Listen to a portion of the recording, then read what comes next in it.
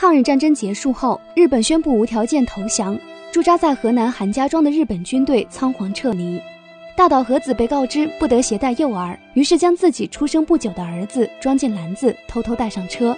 但不曾想，因为太过拥挤，篮子被人扔到草地，和子和儿子就这样分离了。彼时，接生婆羊角大娘刚从外地回村，看到村民们正在捡日军留下的物品，就连她的哑巴儿子葫芦也在其中。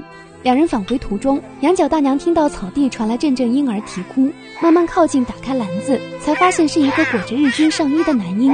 犹豫再三，她终究于心不忍，将孩子抱回了家。一时间，村庄里十分热闹，妇女们都跑来看看日军留下的孩子，白白胖胖，很是可爱。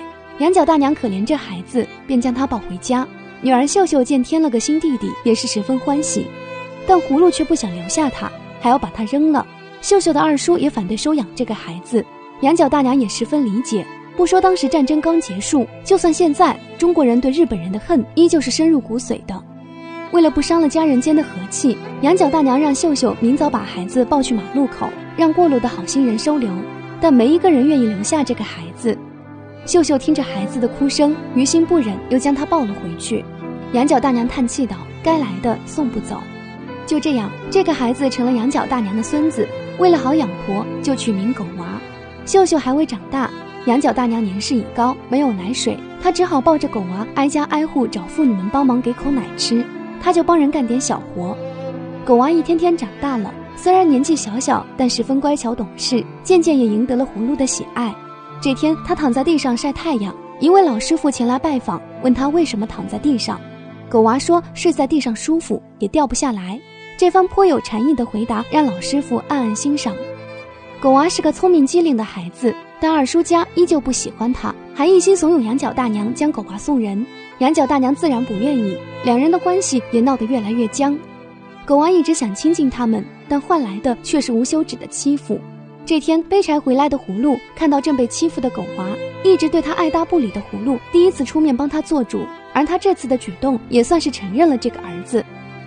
这天村里赶庙会，葫芦带着狗娃前去凑热闹。他去帮人挑水，狗娃就坐在树上等他。二叔家的两孩子跑过来欺负他，狗娃寡不敌众，被欺负得灰头土脸。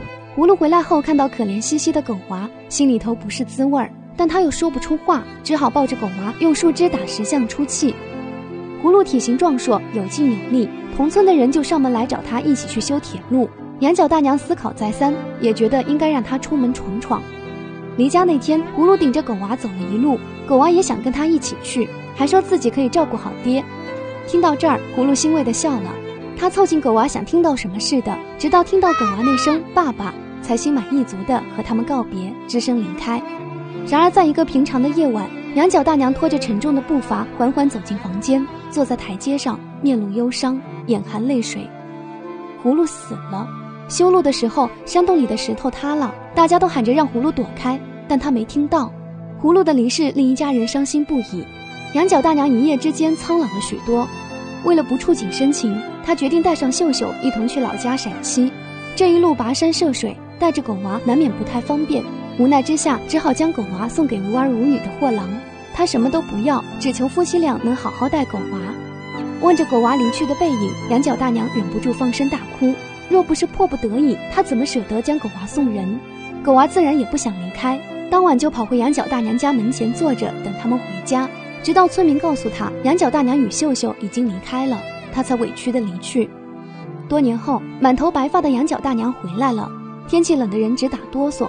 她拦住一个背柴的小伙子，询问货郎家的住处。好巧不巧，眼前这个少年正是狗娃。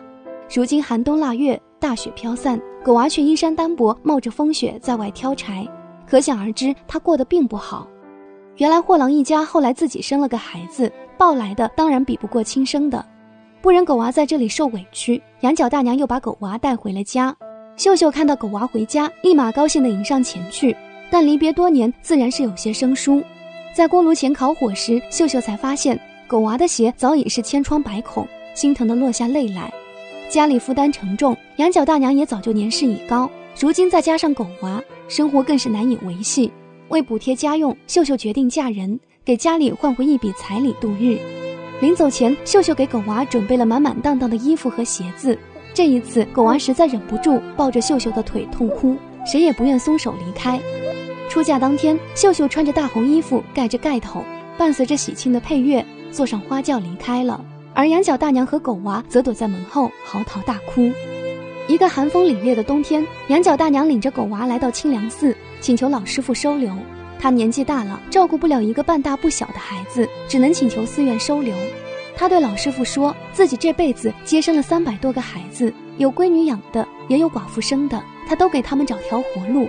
一个人来到这世上，能送到活路上，就别推到死路上，这不也是积德行善吗？犹豫再三，老师傅最终留下了狗娃。临别前，羊角大娘将一条和服腰带留给狗娃，这是当初捡回他时身上带的，应该是他亲生母亲的物品。说完便独自离开。狗娃被剃了头发，赐法号明镜，正式成为一名出家人。行了僧礼后，他便跟着师傅吃斋诵经，相伴暮鼓晨钟。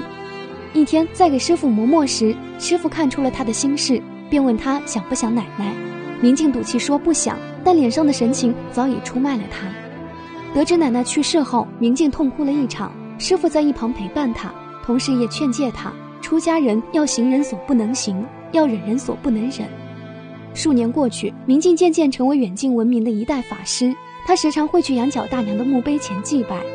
明镜代表中国佛教访问日本这天，生母大岛和子在电视上看到了他的影像，一眼就认出了他，连忙赶到他的身边，但他不敢擅加叨扰，只能邀请了他的随从翻译见面。几番交谈后，最终根据那条腰带确定了他就是亲生孩子。和子多年牵挂的心终于着了底，母子在一间日式建筑里相认，明镜终于能与亲生母亲独处，也在相片中看到已故的父亲。起初穿着袈裟，明镜不能表达自己内心的情绪，面对着向自己不断道歉的母亲，他也只是淡淡的安慰她，不必为此内疚。而当母亲给他换上父亲的和服后，明镜这才向母亲表露自己的内心。他叫了一声妈妈，朝他跪拜，感谢他的生育之恩，为他揉肩捶背，尽一点绵薄的孝心。而当钟声响起，明镜重新披上袈裟，念诵经文。他将佛珠留给母亲，让她保重身体，并嘱咐她明日不要去送机。可和子最终还是去了。看着孩子再度离开的背影，他恋恋不舍。当飞机起飞的时候，他含着泪远远观望。作为日本人的遗孤。明镜能回到家乡传播佛法，还能与亲生母亲再度重逢，已经是天赐的福分。最终，他回到了养育他的故乡，穿着袈裟，围着羊角大娘的坟墓念诵佛经。此刻的他终于得到平静。清凉寺的钟声上映于一九九一年，是谢晋导演执导的一部佳作。在影片中，我们能看到中国淳朴农民最纯粹的善良，面对日本留下的遗孤。他们并没有以彼之道还施彼身，反而大度的接纳，并且细心抚养。里面的人物都是鲜活的，有情有义的羊角大娘，不善言辞的葫芦，单纯善良的秀秀，但见恰文的老师傅，都体现出有智慧的中国人优秀的品质。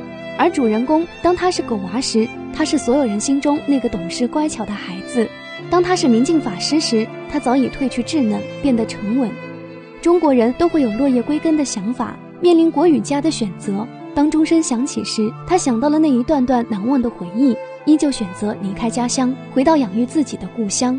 钟声响起，回家的愿望再次强烈，回家的归途也浮现眼前。好了，今天的电影就解说到这儿，我是小小，我们下期节目再见。